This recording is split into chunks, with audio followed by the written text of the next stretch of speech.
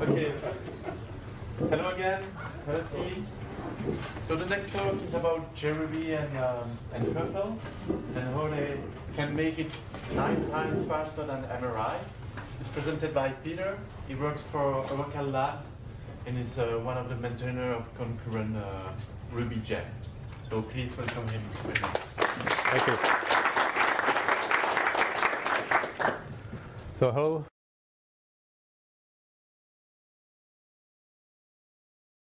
As was mentioned, I work for Oracle Labs, which is a research group within Oracle, and uh, we work on a Graal compiler and Truffle uh, framework there as well. Uh, and I'll be talking about uh, what makes Truffle Ruby run nine times uh, faster than MRI. And we recently changed names from JRuby plus Truffle to just Truffle Ruby.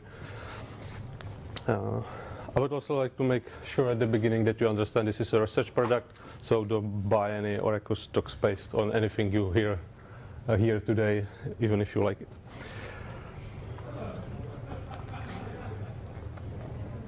So I'll start uh, talking a little bit about Optcarrot, what it, what it is. Then uh, I uh, explain what Truffle Ruby is, and then I follow with uh, explaining some of the optimizations we do and how we are able to run it, uh, run Optcarrot nine times fast. So, uh, Optcarrot is a, a, NES emulator, which means the NES is shortcut for Nintendo Entertainment System, which is an old console. Uh, it has 8-bit CPU, uh, and uh, picture processing unit and uh, 2 kilobytes of RAM and RAM was released in 1983 and you can look up the benchmark uh, on GitHub. And it was created to drive the improvements for Ruby 3 to make MRI three, uh, three, three times faster. And uh, the benchmark itself uh, runs uh, one master game. So uh, we'll start by that we have a look, even though the benchmark was not developed primarily for being, to play the games, but uh, you can do it anyway. So we can play Lan Master on, uh, this is on MRI 2.4. You can see it's a little bit laggy, so it takes about 40 seconds before I solve this uh, simple, the first level. So just bear with me for a few more seconds. Uh, almost there. Yeah, you, you can see it's uh, around 13 or 15 frames per second. But if we, uh, a bit more, okay. If we run the same thing on uh, Ruby, it will be much better. So, uh, sorry, I'll be able to solve the same level in about 20 seconds because just the UI works much nicer. So that's it. Of course, this is not, a, this is very subjective way how to compare the implementations. But I wanted to show you that it's actually, you, you can actually play games on Truffle Ruby with Optcarrot. So let's move on to results.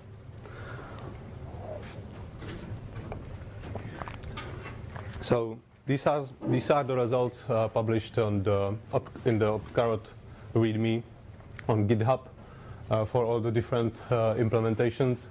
They are run up, up, up until uh, 180 frames, which is not enough for Truffle to fully warm up. And also the Truffle is not uh, part of this benchmark of these results, so uh, we've run own.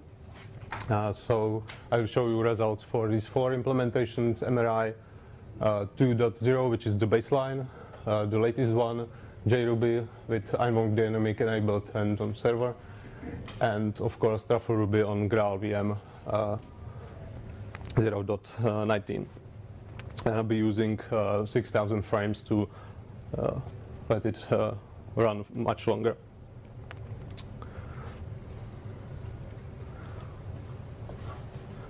So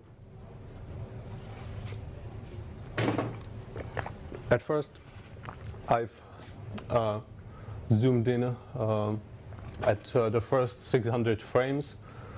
The x-axis are frames and the uh, y-axis is uh, uh, frames per second. And uh, you can see that the MRI implementations are pretty stable from the beginning.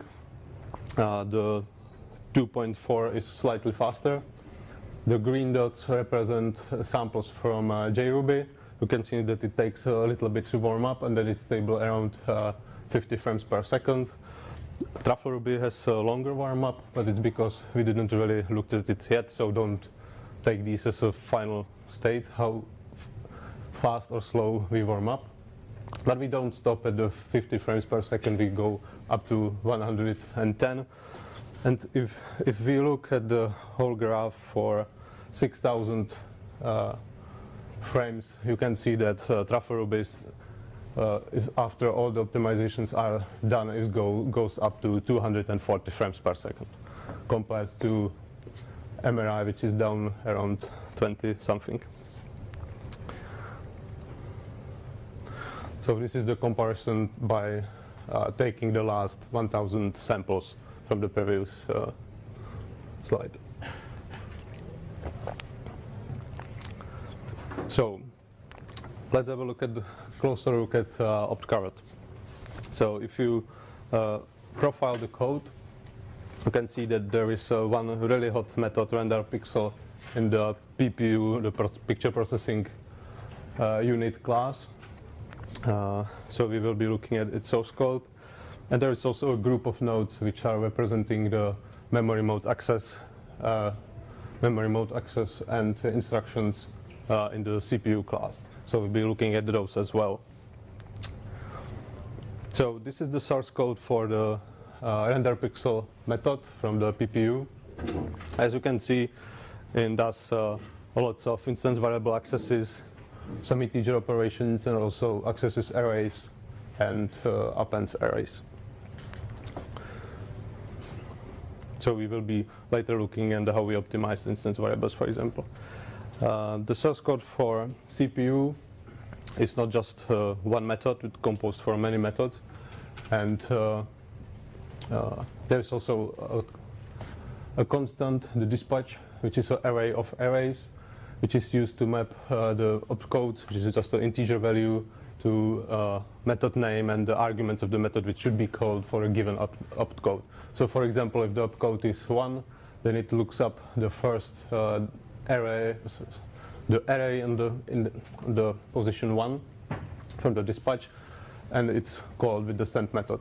So it will go to the arrayOp method, and there, there are two other sends, where the first one uh, prepares the environment from, for reading from memory in a given mode, and the second send just uh, executes some of the instructions.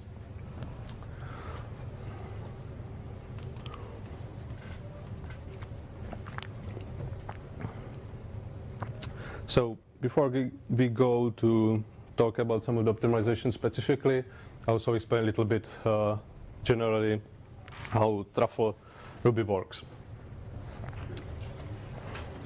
I forgot to mention at the beginning, if you have, uh, if I explain something poorly, please ask immediately, don't wait at the, at the end.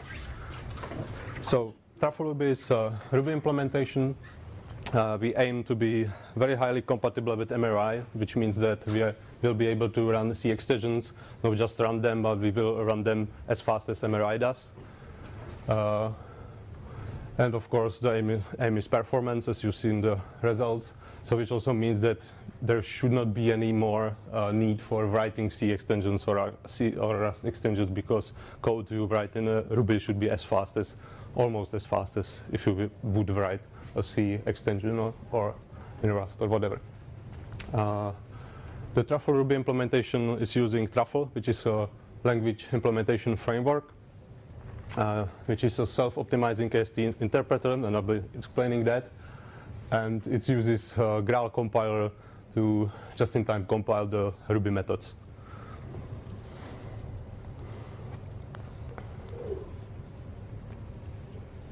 So I'll start by explaining what's abstract syntax tree. So if you have a simple method foo, uh, you can ex uh, express that as a tree uh, where at the beginning is the call to the to string method. Uh, the left branch goes to the receiver, which is in this case is a call to the plus method on a receiver 6 with first argument 7. And then the right branch at the top is uh, 8, which is the argument of the toString method. So we can turn this into interpreter very easily by representing each of the nodes with a class. So for example, we start with the uh, with the constant with the return nodes with the numbers. So we can implement it just by creating this uh, literal node where it's initialized with the value and when you call the execute method where you are interpreting the node, it will just return the value which was used to initialize the node. Now let's have a look at the method calls. So now we have to create a node with a little bit more information. We need the name, we need a node which is representing the receiver, and we need an array of nodes which are representing the arguments for the method. So uh, those we assign to instance variables, and when we execute this node, uh, we first have to execute the receiver node to get the actual object, the receiver. Then we look up the method by name, and then we can call the method with the receiver and uh, with the arguments after evaluating the nodes representing the arguments.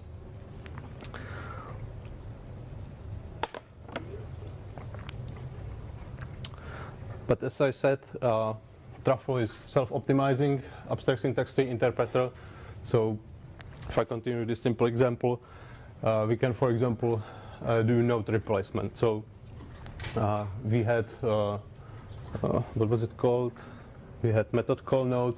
So we can do mono monomorphic cache, simple monomorphic cache here by creating initialized method call node, which when it's first executed, it will look up the method, and then it replaces itself with another node, cached method call node, uh, but there won't be just the name of the method, it will be already the object representing the method to be called. And after it's replaced, it will be immediately called.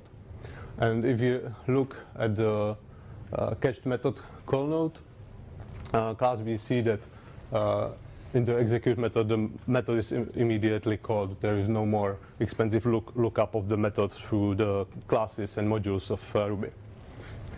Uh, this is, of course, very simplified example. I won't be explaining how we do the optimizations and stuff like that, how we deal with uh, when the method is uh, uh, redefined and stuff like that. Of course, we handle that, but uh, I'm skipping it.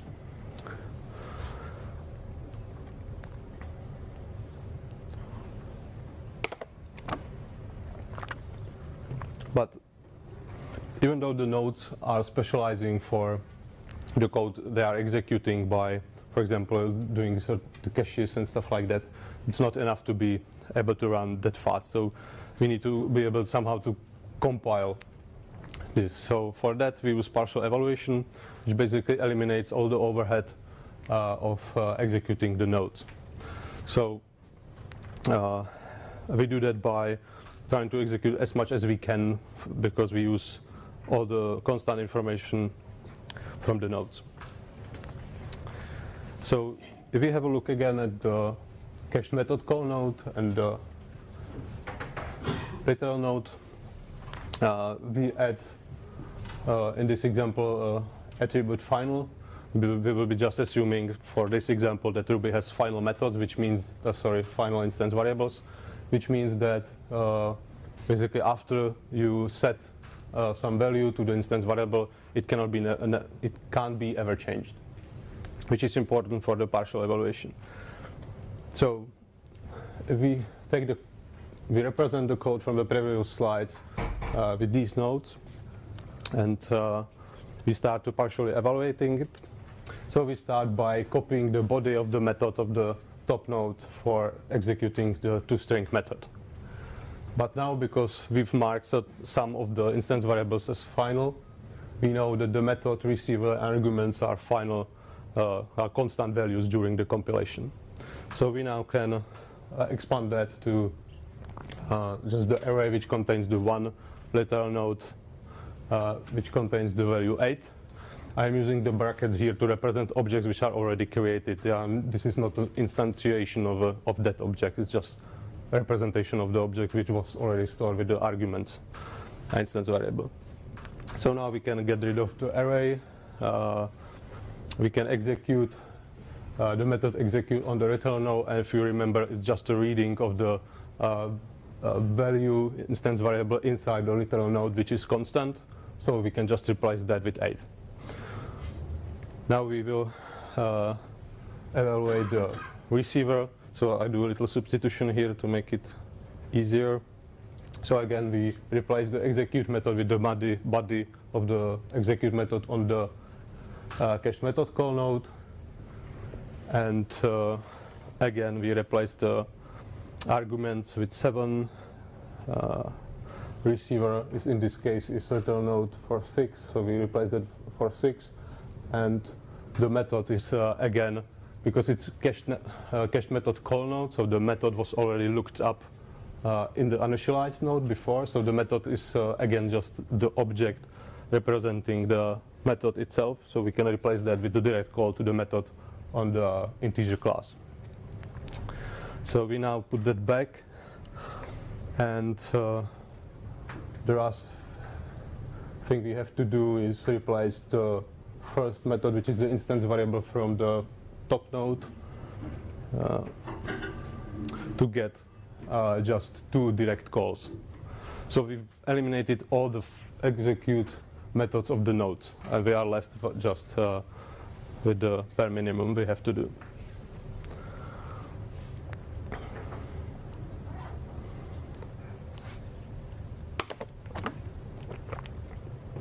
So this is the compilation unit basically, which will then is feed, fed to uh, Graal compiler and uh, uh, Graal produces highly optimized machine code for this uh, uh, compilation unit.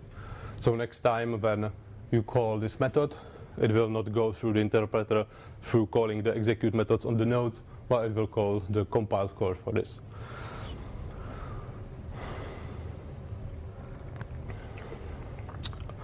Okay, so we actually don't write the Ruby nodes in uh, Ruby. Uh, we use Java for that. So this is a small example from of our actual implementation of uh, the plus operation of on Fixnum. We use uh, DSL a lot, which means uh, in Java that we use uh, annotations heavily and annotation processors. So for example, the code on the left just means that for doing plus operation on a, on a Fixnum, we have uh, uh, at least these four specializations, where the first one is uh, used for doing addition of two small integers without overflow. If that fails with the arithmetic exception, then the second specialization is used, which uh, casts the values to long to avoid the overflow. If we are adding two longs, then we uh, have to check if we are getting again the arithmetic exception because it can again overflow. If it does, we have to create a big integer. And the way how this is implemented is that the annotation process actually generates nodes for each of these methods for us. So based on which of the specializations, specializations is used, then they are added uh, to a chain uh, which is represent, which is then called uh, the execution methods are called on the chain, and then it of course goes through the partial evaluations and to the compilation.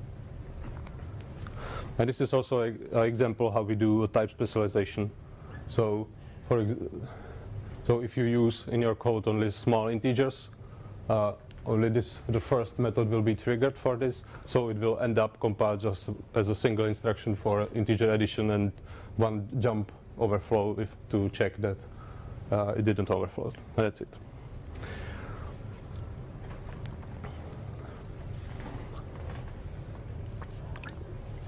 So that was the basics of Truffle. Uh, so let's talk a little bit about uh, how we optimize, how we do instance variable access, because we've seen, seen it a lot in the uh, source code of the methods of the Optcarrot benchmark. So the Ruby objects can grow and shrink, which means that a new instance variable can be added or removed from the object. so because of that, we, we use the following representation. We have a dynamic object, which is, uh, which is representing a Ruby object, and it has a few fields to store some values of instance variables, and it also has an array to store any additional instance variables which are not fitting in these two few uh, fields. And the array, of course, then can be uh, grown or shrinked as needed. And uh, we have a companion object shape uh, assigned uh, from each dynamic object. It describes where each instance variable is stored in the dynamic object.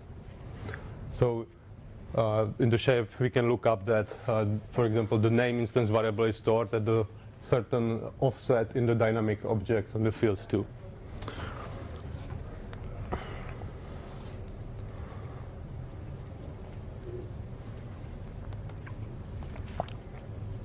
So because of that, what we want to do is uh, we don't want to, each time we want to read an instance variable, we don't want to go through shape looking it up where it is, where it is the actual instance and reading it.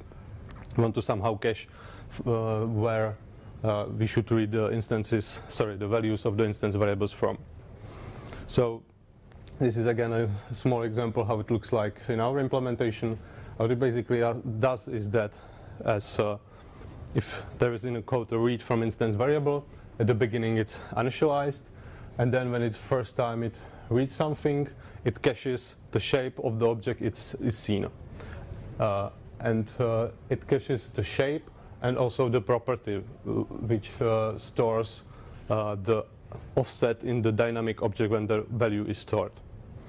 And the shape and the property is uh, final.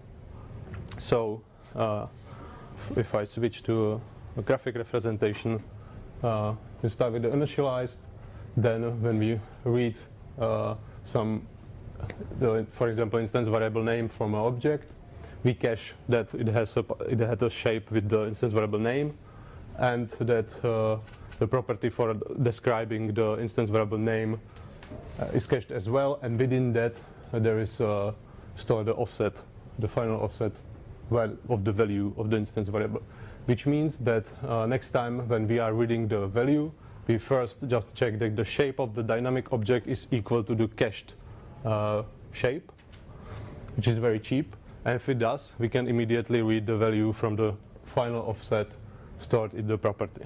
So we don't have to go through the shape and looking up the property when it, when it is stored and stuff like that.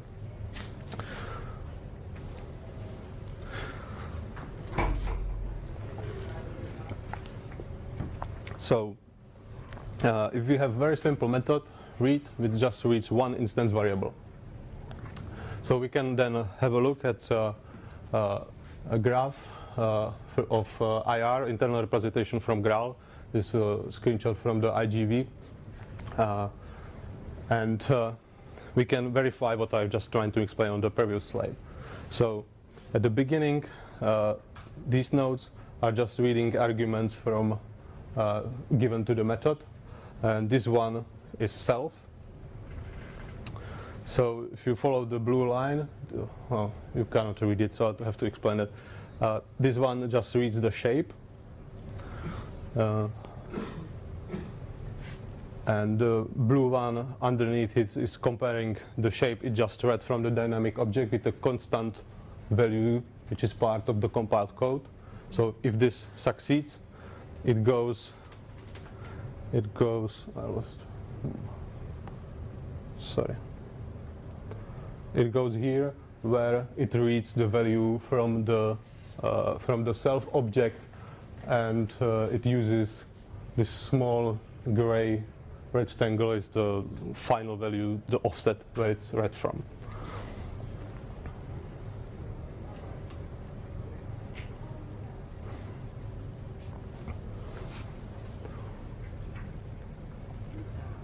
But the real advantage is that if you have a lot of uh, instance variables uh, in the method, like in this one, which is some zero-page uh, mode for accessing memory from the benchmark, the checks for reading the instance variables are actually merged together. So again, this is just a subset of, uh, of the IGV graph. And you can see there is a matter, uh, there is a many uh, equal checks, which is all checking like the shape of the method is the one we are expecting. But this is actually after uh, one more pass, uh, optimizing pass in the Graal compiler is reduced to just three checks for the whole method.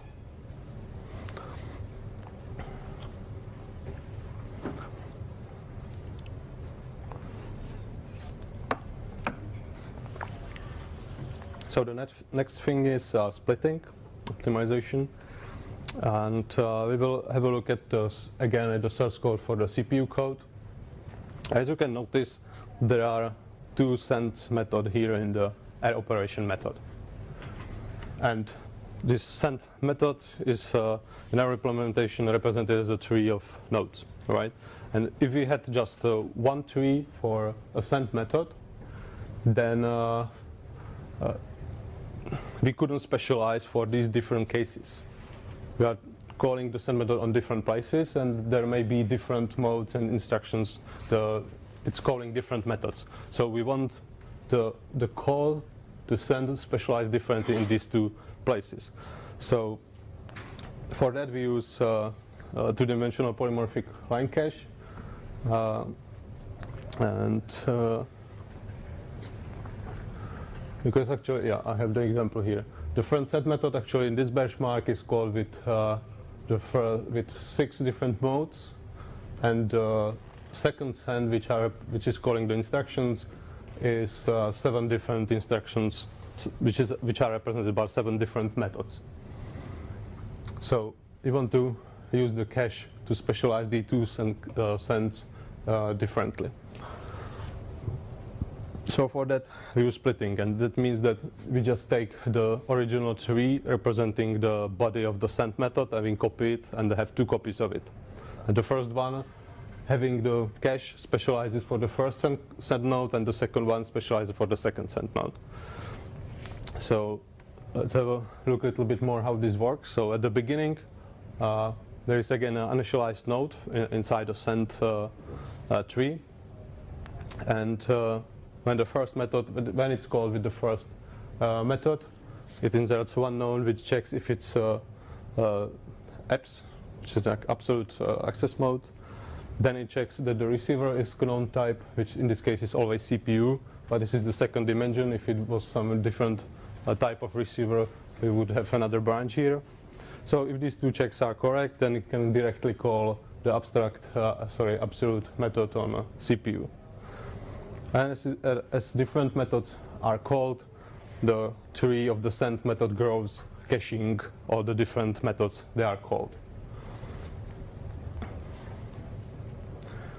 And uh, this is again the representation from IGV. You can actually look at it how it uh, was specialized for a given code.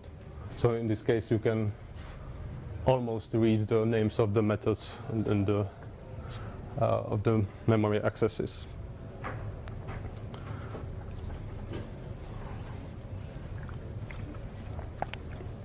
So splitting is applied to all methods, which is particularly important for the core methods, uh, like each uh, to string equal and stuff like that, which are called all over uh, the source code. So you have to you want these methods to be specialized in the places where you are calling them.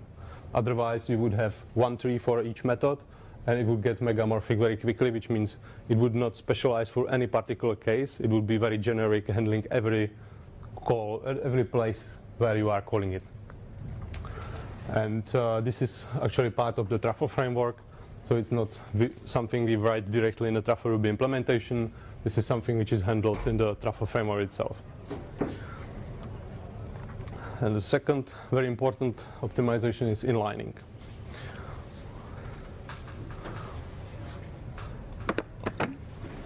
So now we have uh, splitted trees, uh, which are optimized for the different places uh, from uh, which they are called. But uh, if these, we, we, had we looked at how the checks for the shapes are merged for the access to instance variables. So if you have, uh, for example, the op method, and it's calling the, some of the uh, memory access mode method, and then some of the instructions, both of these methods also have accesses to instance variables on the same object. So, but if uh, even but the methods, if they are not inlined, that means that they are part of the different compilation unit. So the compiler cannot see the checks which are uh, done in the memory in one of the memory mode access methods uh, with the checks which which are in the one of the instructions. So they they cannot be merged together or eliminated. So for that you need to inline the methods to uh, to the caller. So you get a bigger compilation unit to be able to eliminate these checks and guards which is done very simply by just taking the tree for the let's say there was uh, immediate memory mode access. So you just take the tree which is representing the body of the method and you just copy it to the caller and that's it basically.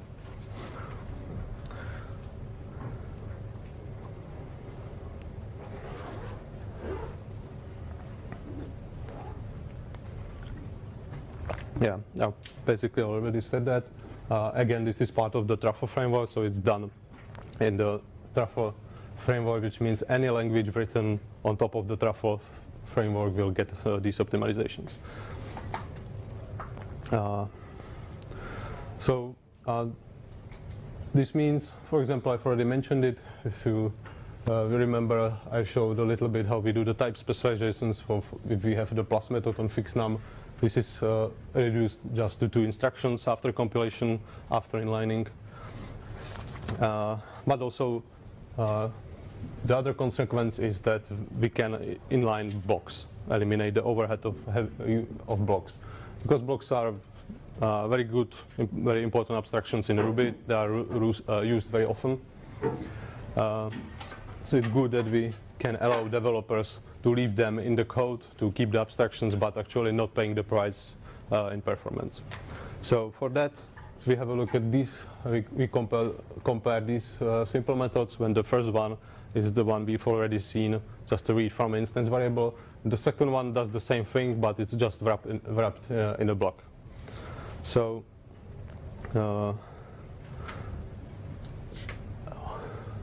these are the IGV graphs before the optimization passes for the two methods. Uh, and this is after the optimizations. As you can see, it's the same. The any overhead of the block, the allocation of the block, everything was eliminated. so, in conclusion, uh, what makes run Optcarrot benchmark nine times faster than MRI? It's not a single optimization, it's several things. And I didn't even cover everything, but just the major ones. So it's the splitting, inlining, and the partial evaluations, which allows you to eliminate uh, the overhead of uh, having the AST interpreter and a high quality compiler like, like Graal, which allows us to produce high quality uh, machine code. And of course, we, we also do some optimization around uh, array access, which I didn't include it do into this talk, which I, because I thought that I won't have the space.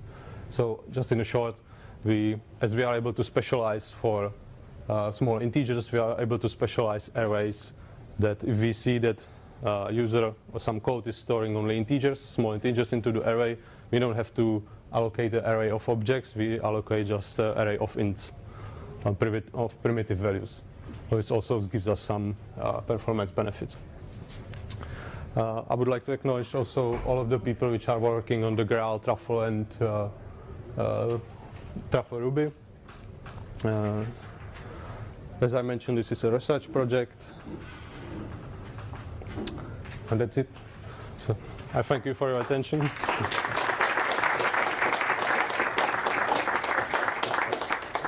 So we have about uh, 15 minutes for questions. I have a question. Um, one of the things that uh, puzzles me about, about Truffle Ruby is um, um, are you going to be able to use uh, uh, most of the existing Java tooling uh, to work with it? For instance, can you use Visual VM with Truffle Ruby or something like that? Uh, yeah, the question was if we are able to use existing tooling for uh, Java. And the answer is uh, yes. Uh, for example, the Visual VM, I think there is some ongoing work to improve it so it won't profile just the Java parts of the truffle and stuff like that, but it will actually understand a little bit uh, the languages uh, implemented on top of the truffle. So you can use it to actually inspect the languages uh, implemented in truffle, not just the Java. So yeah, and we also have uh, debugger, which is uh, independent on the uh, implementation, so you can debug, debug any language written uh, on top of truffle. And because the debugger is independent, and because uh, the engine is polyglot, which means you can easily call one language implemented in Truffle uh, to another language uh, on top of Truffle. So we can, of course, debug it through calling different languages in one runtime. Thank you. Any more questions? Sure. So when you're generating your two-dimensional inline cache, um, what kind of restrictions are you making on whether or not you're actually going to generate specializations, or do you just sort of wait to see how many things go through that? Uh, there is a limit. Uh, I didn't mention it. There is a in the, in the annotation. There is a. Sorry, I didn't repeat the question. Uh, the question was, uh, how do we deal uh, if, if there are any limits in the two-dimensional uh, cache? Uh, so it, there is a limit value on the annotation for the cache, and it says how big it can grow.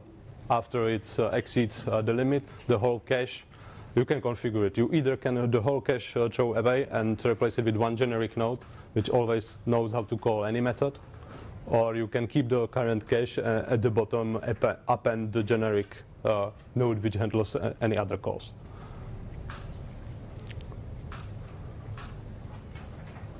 Uh, do we need Java for running uh, Truffle Ruby frontend, GNI? Uh, currently, uh, you need uh, a JVM with uh, JVMCI uh, uh, API. So uh, Graal is uh, so you can use Graal. There is a build of uh, Java 8 with it. Uh, Java 9 will have it uh, when it's released, so it won't be any problem in Java 9. Uh, but there is also another project, Substrate VM, which basically ahead of time precompiles the whole implementation of the language, including Truffle and Graal. Um, so on one hand, you lose uh, Java part. On the other hand, because it's precompiled, we get uh, the startup time to around 100 uh, milliseconds, which is quite close to MRI. So the hello world is just uh, 100 milliseconds. Uh, I have a follow-up question. Uh, since you were mentioning Substrate VM, one thing I haven't understood is um, when you go from the normal Java VM to uh, Substrate, what do you lose? Uh, Because it's ahead of time compiled, so during that time it analyzes all of the parts which are used from the Java uh, standard library, and it compiles ahead of time only the parts which are used. Uh, and during the time also takes certain assumptions that it can do, it does a global analysis, so it can see okay this method with uh, with this name was called is always called on this particular receiver. And because it's called ahead of time, you cannot go back from this assumption. So we have to forbid uh, class loading, uh, loading and other Java classes which could break this assumption. So for example, for, on a substrate VM, you cannot load new Java classes because of this. But it's not entirely true because there might be also a Java on Truffle and then it they'll be able. So you, okay. you, miss, you also lose some of the things from hotspot, right? Like the GC or something like that. No, no, no. It's uh, the, the because, yeah, right. It's a different VM, so it has different GC. Other questions? Thank you, Peter. Thank you.